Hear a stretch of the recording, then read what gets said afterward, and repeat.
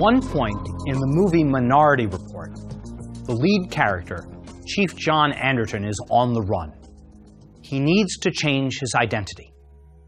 But he can't, at least not easily, because the central government has everybody registered by a unique identifying characteristic pattern of blood vessels in their eye. This technique, known as iris recognition, is actually in its growth stage today. The future imagined in Minority Report marries the capability of uniquely identifying people through their eye patterns to a small universal scanner that scurries like a spider, tracking, taking the picture of every individual's eye in order to identify them. Because your eye pattern is unique and immutable, the government sees this as a way of conclusively identifying malefactors. Citizens see it as a way of exercising control. This is not the stuff of science fiction. During the wars in Iraq and Afghanistan, U.S. forces used iris scanning technology as a sort of digital filing system on civilians and others they encountered. Anderton's fiction is today's reality. The only way for John Anderton, played by the actor Tom Cruise, to avoid this surveillance is to change his eyes. In a rather gruesome scene, he goes through an operation in which eyeballs harvested from a cadaver are transplanted into his eye sockets. That seems pretty extreme to me, and it's beyond the realm of possible today, I think. But it gives you a sense of both the power and the peril of biometric identification. So in this lecture, I want to ask, why do we care? What is it about biometrics that make them useful? Then I want to tell you about the technology itself, what it is and how it works. And finally, we'll close with some thoughts about the dark side of the technology, how it might threaten civil liberties. Why biometrics are interesting comes down to the problem of establishing one's identity. If I say to you, my name is Inigo Montoya, how do you know that I'm not Paul Rosenzweig pretending to be Inigo? Well, I am Paul Rosenzweig, but I can show you an identity card with Inigo Montoya's name on it, and maybe even a driver's license or a passport. So how do we verify my identity? The problem came into stark highlight after the September 11 attacks. The government's comprehensive review identified a number of gaps in America's security architecture, including our inability to know who was who. The Florida driver's license picture of Muhammad Atta has become an iconic symbol of the insecurity of our identification apparatus. Misidentification is a critical and endemic problem, and that's why biometrics are increasingly important. In a post 9 11 world, we want to link the biographic information we have available to us about risks associated with an individual, be it risk of financial fraud, abuse of eligibility for benefits, or being a potential terrorist, to a verifiable biometric characteristic. That is a physical characteristic that is impossible to change, unless you're Tom Cruise in Minority Report. In every walk of life, as a basic building block of risk assessment, we think it's imperative that we have confidence that people are who they say they are. Consider some of the uses to which a verified biometric identity can be put. Getting through the airport is easier for trusted travelers. Establishing access control checkpoints to let people into buildings and computer systems, or to keep them out. Verifying credit and other consumer behavior, thereby pinpointing or streamlining retail transactions, reducing fraud, and resulting in lower fees.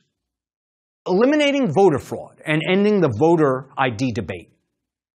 Verifying age and legal authorization to drive or vote or drink alcohol, and so on. Biometrics are actually among the oldest of new technologies. They began with fingerprints early in the 20th century and today include more novel ideas like gait recognition, which is the ability to identify an individual by his physical movement. That is, how he or she walks. Now, biometrics can be used in two distinct ways for verification or for identification. When a biometric system is used to verify whether a person is who he or she claims to be, that verification is frequently referred to as one to one matching. Almost all systems can determine whether there is a match between a person's presented biometric and a biometric template in a database in less than a second. Identification, by contrast, is known as one-to-many matching. In the one-to-many matching framework, a person's biometric signature, whether it's an iris or a fingerprint, is compared with all the biometric templates within a database. Now, there are also two different types of identification systems for this framework, positive and negative. Positive systems expect there to be a match between the biometric presented and the template. These systems are designed to make sure that a person is in the database. Negative systems are set up the opposite way, to make sure that a person is not in the system. Negative identification can also take the form of a watch list, where a match triggers a notice to the appropriate authority for exclusionary action. Neither system generates perfect matches or exclusionary filters. Instead, each comparison generates a score of how close the presented biometric is to the stored template.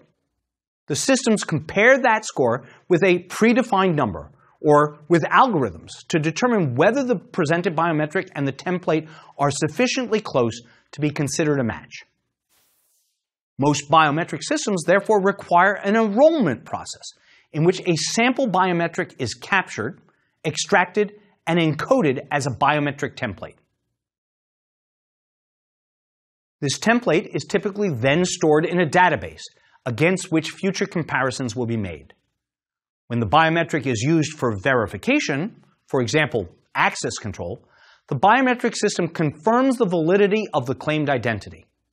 When used for identification, the biometric technology compares a specific person's biometric with all of the stored biometric records to see if there's a match.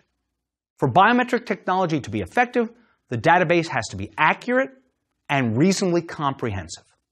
The process of enrollment, creation of a database, and comparison between the template and the sample is common to all biometrics. That having been said, there are many different forms of biometrics. We're going to talk about four of the most common, fingerprints, iris recognition, facial recognition, and voice recognition. Then we'll mention two other forms of biometrics, hand geometry and gait recognition, and we'll end our description of biometrics with DNA analysis. Fingerprint recognition is probably the most widely used and well-known biometric. Fingerprint recognition relies on features found in the impressions made by the distinct ridges on the fingertips. There are two types of fingerprints, flat and rolled.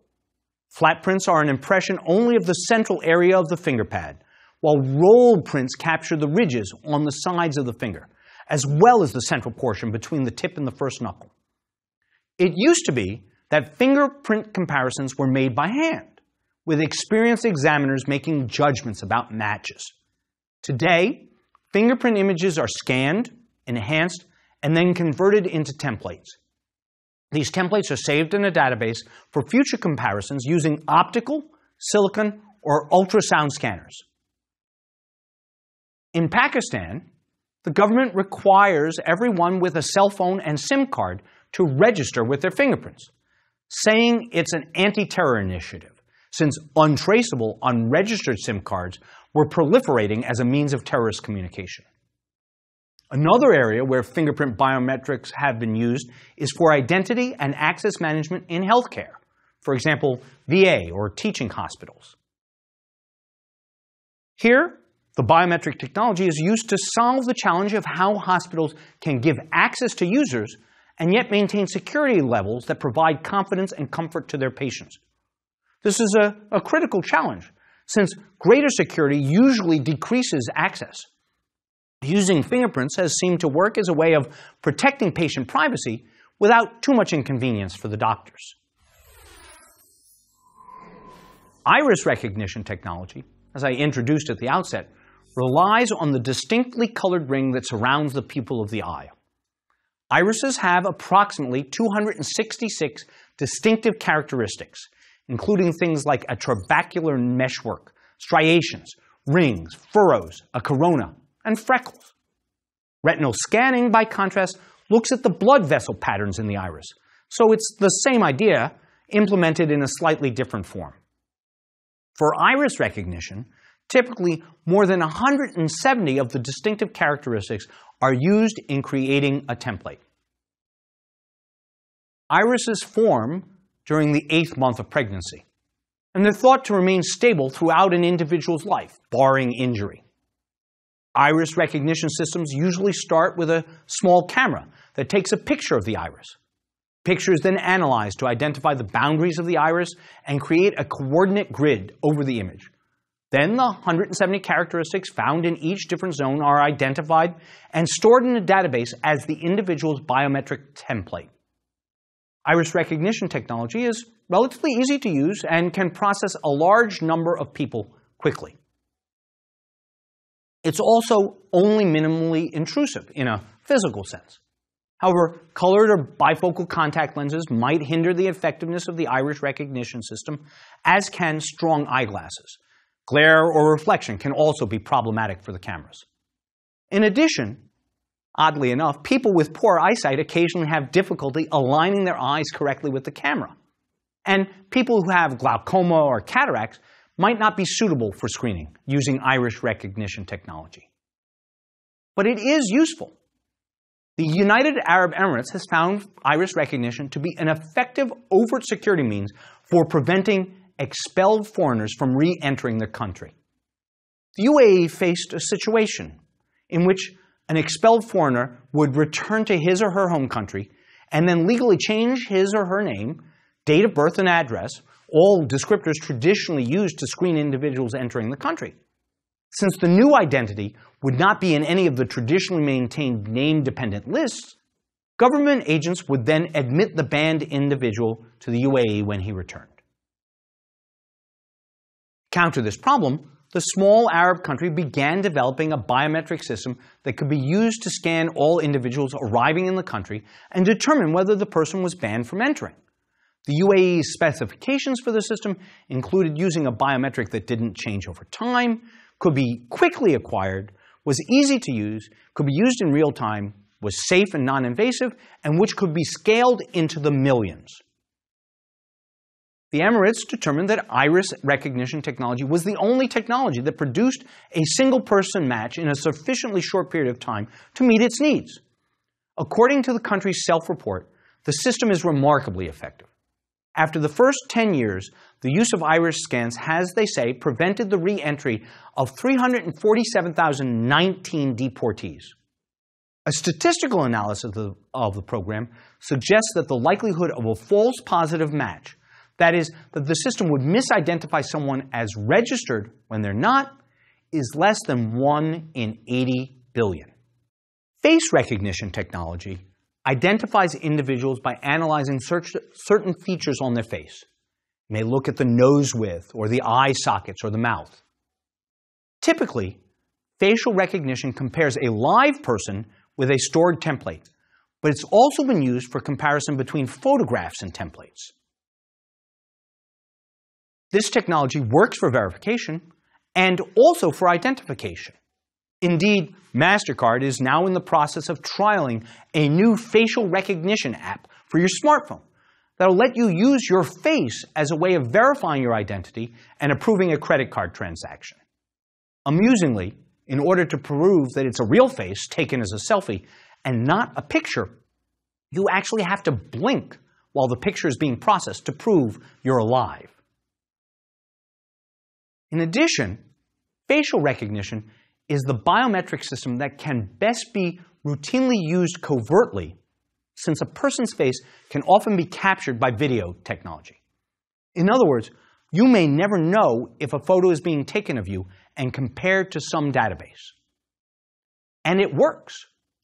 DeepFace, the facial recognition technology developed by Facebook, is said to be 97% accurate, making it competitive with human distinguishing capabilities. Voice recognition technology identifies people based on vocal differences that are caused either by differences in their physical characteristics, like the shape of their mouth, or from speaking habits, like an accent. Such systems capture samples of a person's speech as scripted information is recorded multiple times into a host record-keeping system. That speech is known as the passphrase. This passphrase is then converted to a digital form and distinctive characteristics like the pitch, cadence, and tone are extracted to create a template for the speaker. Voice recognition technology can be used for both identification and verification. And the use of the technology requires minimal training for those involved. It's also fairly inexpensive and very non-intrusive. The biggest disadvantage with the technology is that it can be unreliable. For instance, it doesn't work well in noisy environments like airports or border entry points. Another form of physical recognition is a measurement based on the human hand and the width, height, and length of the fingers, distances between the joints, and the shape of the knuckles. It's called hand geometry. Using optical cameras and light-emitting diodes that have mirrors and reflectors, two orthogonal, two-dimensional images of the back and the sides of the hand are taken. Based on these images, 96 measurements are calculated and a template is created. Most hand readers have pins to help position the hand properly. These pins help with consistent hand placement and template repeatability. So there is a low false positive rate and a low failure to accurately match as well. Hand geometry is actually a mature technology, primarily used for high volume time and attendance and access controls. For instance, from donuts to hamburgers, Krispy Kreme and McDonald's alike rely on hand geometry to record staff time and attendance. Hand geometry works particularly well when many people need to be processed in a short period of time, so long as it's one-to-one -one matching. Although people's hands differ, they're not really individually distinct. As a result, hand geometry technology can't be used for the one-to-many matching procedure we discussed a while ago. Hand geometry is perceived as very accurate and has been used in a variety of industries to regulate access controls for more than 30 years. It is useful in identifying who's permitted somewhere or to do something and who is not. It's really very difficult to spoof someone's hand shadow without the person's cooperation. The main advance in the technology over the years has been in cost reduction. Today, a wide variety of places rely on hand geometry for access. The San Francisco airport uses it for access to the tarmac. The Port of Rotterdam, Scott Air Force Base, and a sorority at the University of Oklahoma all rely on it.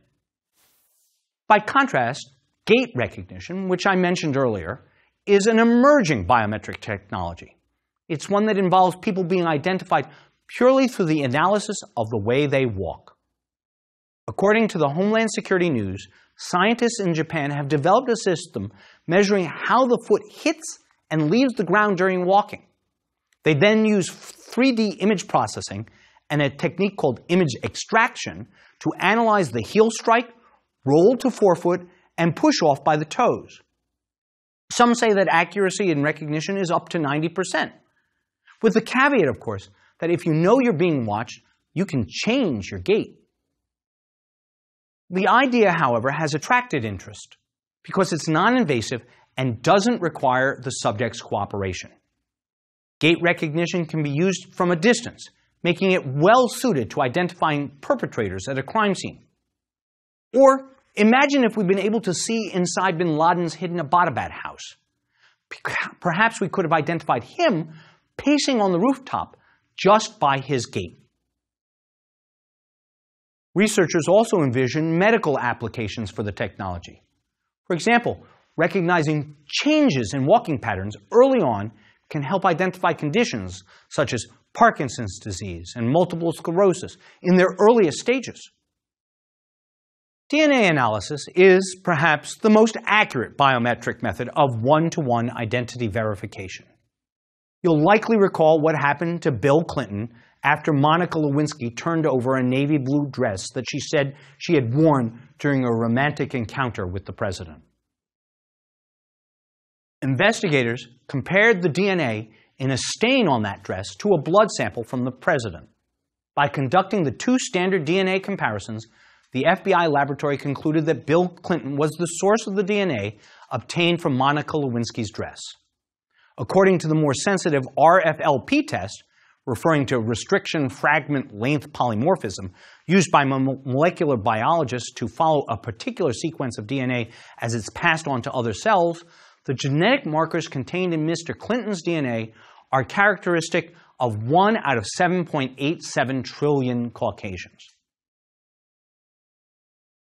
Of course, on the flip side, DNA evidence has increasingly come to be used to exonerate the wrongly accused and convicted. Hundreds of such cases have been overturned, at least 20 of which involve people who had served time on death row. So, biometrics are great. What could possibly go wrong? The answer rests with whether or not we're comfortable with the government having an immutable record of who we are and what we do. One development in recent years that troubled some civil liberties advocates was the case Maryland versus King, which was decided by the Supreme Court in 2013. The case asked the question of whether and when the government could forcibly collect your DNA from you. In general, authorities can collect DNA from people convicted of crimes. But if, what if you are merely arrested and not yet convicted? The Supreme Court, by a narrow 5 to 4 majority, said that the administrative collection of DNA from all arrestees was permissible, even in the absence of a warrant or probable cause. The dissent in that case was vehement, essentially asking what happened to the rule of innocent until proven guilty? Of course, your DNA is everywhere you are and remains through shedding after you go. With the result in the King case, the government is now free to assemble a template DNA national database of anyone who's ever been arrested for a crime. The best estimate I've seen suggests that the database may, in the end, connect, contain the DNA of one in four Americans, with a significantly higher rate for African Americans. Not all of the samples were collected for criminal reasons, of course, but many were. And all of this suggests that the use of biometric technologies poses a host of interrelated policy questions. Some of the questions one might ask are, can the biometric system be narrowly tailored to its task? Who will oversee the program? What alternatives are there to biometric technologies? What information will be stored and in what form? Other questions. To what facility or location will the biometric give access? Will the original biometric material be retained? Will biometric data be kept separately from other identifying personal information? Who will have access to the information? How will access to the information be controlled? How will the system ensure accuracy? Will data be aggregated across databases? If data is stored in a database, how will it be protected? Who will make sure that the program administrators are responsive to privacy concerns? Can people remove themselves from a database voluntarily? In effect, can they unenroll? How will consistency between data collected at multiple sites be maintained? If there's a choice, will people be informed of optional versus mandatory enrollment alternatives? Some of the fears surrounding biometric information include that it be gathered without permission, knowledge, or clearly defined reasons, used for a multitude of purposes other than the one for which it was initially gathered, you know, function creep, disseminated to others without explicit permission, used to help create a complete picture about people for surveillance or social control purposes. There are also concerns about tracking, which is real-time or near real-time surveillance of an individual, and profiling, where a person's past activities are reconstructed. Both of these would effectively destroy a person's anonymity. So, here are some ideas about biometrics to consider. Enrollment in biometric systems should generally be overt instead of covert. Before one is enrolled in a biometric program, one should probably be made aware of that enrollment.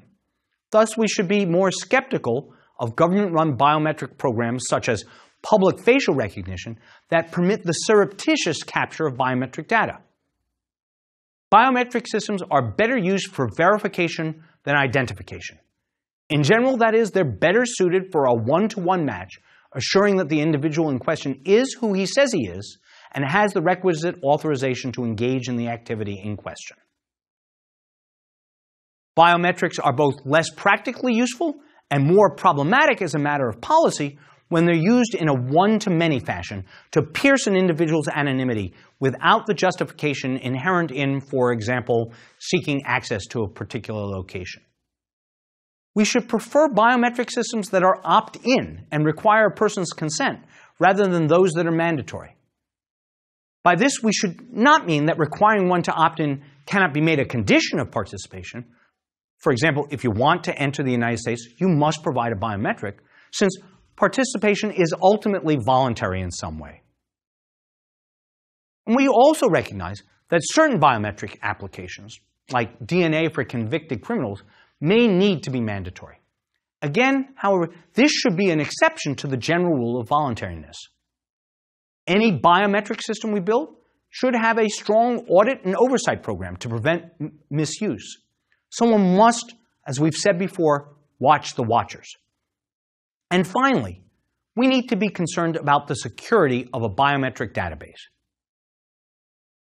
After all, if your password or credit card number gets hacked, you can change it. It's inconvenient and costly to be sure, but it can be done. If your biometric data gets hacked, as happened to many government employees in the breach of the Office of Personnel Management Security database, there is much more trouble afoot. You can't, after all, change your fingerprint. Centralized storage of biometric data also raises privacy concerns by tending to enable easier mission creep. Clearly, for some technologies and applications, local storage won't be feasible. But to the extent it's practicable, local storage should be preferred. But all this pales next to the larger question of who gets to decide? Should citizens have a right to control their extremely sensitive biometric data? Should, for example, the collection of facial biometrics on a public way be impermissible? In one sense, the answer seems like it should be obvious. If I can take a picture of you on the street without your permission, which I can, just go on the street and take a shot, why can't the government? On the other hand, well, it's the government. Today, however, the decision to move forward with biometrics is not really the subject of wide public debate. In 2014, the FBI started to use a next generation identification biometric database with 14 million face images. Current plans are to increase that number to 52 million images by 2015, with more images to be collected in the future. Some communities are even issuing mobile biometric readers to their governmental staff. The staff, usually police officers, but sometimes other regulatory agents, can take pictures of people on the street or in their homes and immediately identify them and enroll them in face recognition databases. Biometric technologies are likely to be of great value in creating secure identification. But to be useful and acceptable, they need to be privacy and civil liberties neutral. They can and should be designed with appropriate protocols to ensure privacy before they're implemented. On that, perhaps we all can agree.